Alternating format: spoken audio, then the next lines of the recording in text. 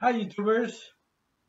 Um, here today. Um, just uh, wanted to. Uh, I guess uh, I got enlightened or not enlightened, but I just thought of some things to talk about. So I stopped my dinner, and that's why I have. I'm I'm very popular right now because uh, everyone saw me eating, so they they're here. Uh, the other one, three, and then this one. You know, it, rarely going to see is my cat. Uh, uh, definitely, you don't think you'll hear the the purring, but my cat loves to purr, mm, at least for me. So, um, hey, meow. Say hi, meow. Come on, meow. Uh oh. She's always jealous. Say meow. Say hi.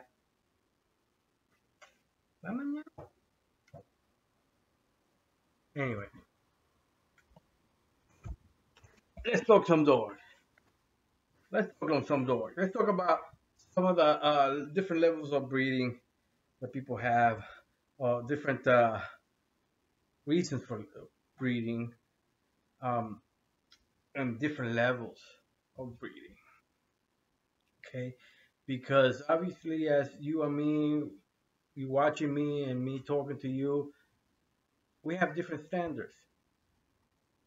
You know, you don't know my standards, I don't know your standards, so I respect that level of that, that. That I don't know everything about you, you don't know anything, everything about me, but I try to gather as much information as I can, as you should do uh, to, uh, about anybody you deal with. So, um, you know, this thing about the dogs, these dogs, is a, a, a lot about standards and um, what you believe is your what what believe is good.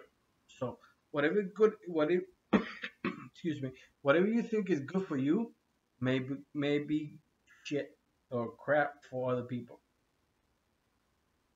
So you have to really think about, you know, and, and, and prioritize what traits are you looking for? What traits are you looking for? And it, it should not be just one. It should not be just two. You know, you should have priorities in, in, in the traits you're looking for, priorities in the things that you're looking at in each door, and, and engaging, you know, and, and grading everything, you know, about them. And if you look at looking at the dogs as, you know, potential breeding studs and potentially breeding uh, uh, units, if you want to take it as away from feelings as possible. So, you know, because you have to remove the feelings from everything because if you have a lot of feelings for the individual dog and don't have uh, enough feelings for the breed, you know, you see diamonds where other people see, you know, um, you know, rocks or crap. So,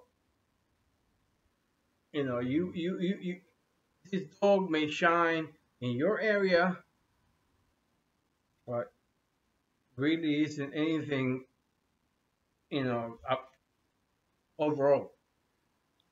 Okay? So you have to be honest with yourself. You have to be honest with the breed. You have to be honest with uh, everything. Okay? And I know some people that, ah, well, you have this. Uh, I'm coming for you guys. Hold on. All right? All right? I, everything I talk about, I believe. And even though you haters don't see the connections, and I, uh, I'm gonna try to put the, you know, I'm gonna put A, B, A, B, and C together so you could read it. But uh, hold on, because I believe in all, this. I believe that the, the dogs you have to be a, have a standard, but I, at the same time you have to understand that these dogs are not black or white. There's no A or B. There's no this or that. It, it, it, it's kind of like a rainbow, but less than a rainbow. It's like a rainbow. Yeah, there has, there is priorities. So, um, and there is things that you're looking for. So, if a dog may not fill all the boxes, but if when you're breeding, you can fulfill the boxes that are, are missing or complement or in hope that one that is similar to this wakes this for that with this okay? That is a possibility and that is that is not normal genetics. But you have to be honest. You have to uh, you know if you have deficiencies in one generation you have to make sure that those same deficiencies are not carried over from the second generation to a third. Okay? So, if you're breeding a dog in the first generation that has uh, some flaws that are in the top three of your priorities, you have to make sure that in your second generation into your third generation, you are not repeating those same flaws. You have to be harsh. You have to be harsh. If you're using, if, if, if units are from the first generation that have uh, flaws in your third priority, one, two, three uh, priorities in the first three, you have to be very harsh on, on the second and third generation. Okay? You know, and the best thing you could do is, you know, do be honest, honest with yourself, because in, in, at the end of the day, good is in the eye of the beholder. So whatever is good for you might not be good for me, but again, um, you have to have uh, like some sort of place that you can, you know, gauge what you're doing. At least if you're honest. Because there's a lot of people that are not into the dog for the dog or for the breed. So they are cheating their way into the top. They're cheating into their way into winning uh, conformation shows, weight pulling shows, uh, uh, uh, running, you know, whatever they're they're pretty much doing this um, because these individuals need that win rather than uh, uh, um, you know using the activity see where uh, your program is the, your breeding program is um, withstanding where, what, what it is against other breeding programs. So um, it is all about your uh, breeding purpose in the dogs. Because uh, you have to be, you know, you always have to be careful because there's going to be a lot of people that that, that want to put their hands in what you're doing. You know, I, I always say it's like everyone wants to be a, is trying to be a chef in your kitchen. So if you let them, you're always going to get gumbo. Okay? So you have to follow your path you have to have a path. You have to always look forward. Should always uh, uh, um, make sure that you're able to change, evolve, modify what you think with what you see, with what happens. Okay, you can't do this you know, and say, hey, this is going, I'm going through this this way and never change. Because that way, uh, if you do that, you're going to be a dinosaur. And you know what happened to the dinosaurs, okay? So uh, uh you, you know, you have to remember that uh, um, in this, in these dogs, these dogs are living beings. They're not machines, so they're not going to come out the same in one litter. Like you could have 10 dogs in one litter and, and have an array of uh, different temperaments from cold, uh, medium, and dog that is, uh, and again, I'm, I'm speaking about uh, in terms of the American Pit Bull Terrier because that is my breed. So uh, excuse me if you're watching me and, and you're dealing with different breeds. Um, you can still watch me and understand it. Uh, if you're not, if it's not a uh, working breed, it's like an active breed, a, a physical an alpha breed, it's going to be less than what I'm telling you. This is a truly alpha breed if you have uh, good bred dogs. Um, so uh, you you have to understand that you know these dogs are different levels, different levels of temperament. Yeah, you really have to understand that not every dog is going to be an ace. You know, 99% of it, it are not going to be aces, not are not going to be, you know, what you're looking for 900%. And in fact, 99% of them are going to be exactly the opposite. Are not going to be 100% what you're looking for. So what are you going to do? You have 99% of those are going to be 100% not what you're looking for. They might be have different attributes, different traits that you're looking for, but not 100%. So what are you going to do?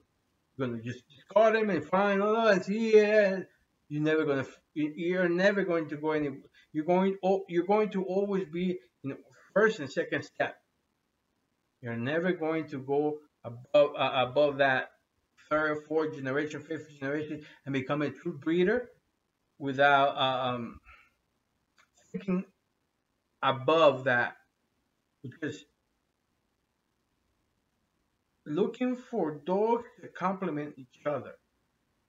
What what this dog doesn't have, this dog may have, or this dog may activate in this one, and, and vice versa. You could do that.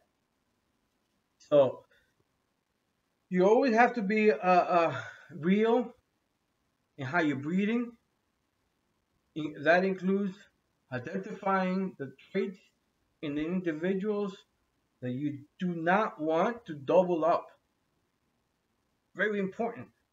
Do not double up on the traits that you don't like. Do not put a dog that has a background with X dogs that act a certain way you don't like with X with X dog that has X amount of dogs that you don't like how they act. You have to be, you know, obviously it's more important that they're the same type of things that you don't like because you're doubling up the uh, genetically speaking. So if you're doubling up genetically speaking, they are more likely to come up. I'm, I'm doing it like this so that each one is the, uh, genetic uh, and, and, these are the things that you're doubling up. Okay, so you don't want that. So move away from that. Okay. So uh, yeah. So in, in that mentality, don't continue to breed a dog and dog that you didn't like what didn't like how he acted, but uh, has good genetics, good pedigree. Because pedigree is important. It's essential. You know, pedigree is essential because you can't have a dog, uh, scatterbred dog, because um, we can't have them. But a scatterbred dog that performs greatly still doesn't have a good potential to uh, continue that genetic uh, into the, its uh, family. Perhaps one generation, but two, three generations. If if a dog is uh, scatterbred, meaning no no family connection between the uh, sire and dam, and uh, it doesn't work out that well. Okay, so um, let me show you. Uh, my cat is right here chilling. He's waiting. He's, uh, uh, I give him some food. Cat right here. Sleeping because know, hopefully you guys are not sleeping. But I, I love I love talking about dogs. I love talking about genetics. Again, the breed is my life, so I think about it all the time. So uh, anyway, like I said, I, I always tell you guys that you have to learn from the dogs. And in my den, I see them talk to each other. Okay.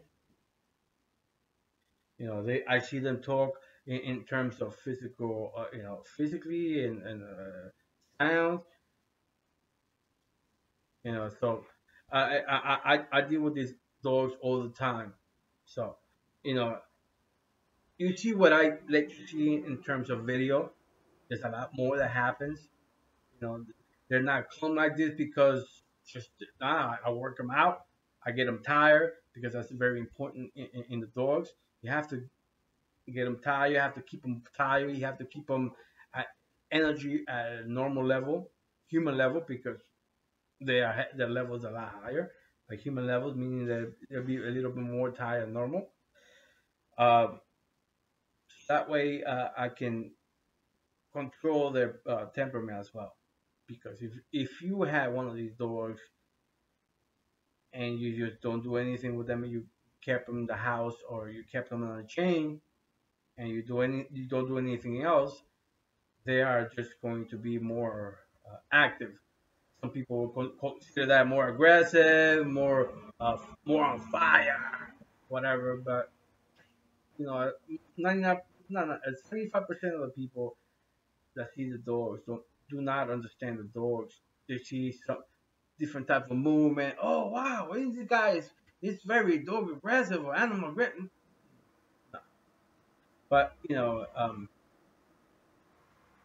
a lot of people want to see me or see people in, in on the in the woods or show me uh, a person showing them in uh, a big yard of dogs. But no, it doesn't have to be that way.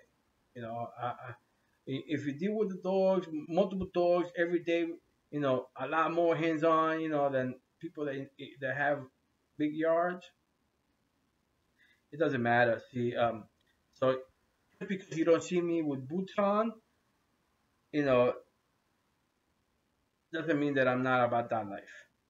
You know, I I wear boots. I wear the boots, yeah, and they get dirty. So I appreciate your time if you got to this point. You know, I tried to do some videos about my dogs or dogs in general uh, hopefully, hopefully this helps you. Hopefully you enjoy. I'm gonna finish my dinner, I guess. Here you go, and um, have a good night for everyone else.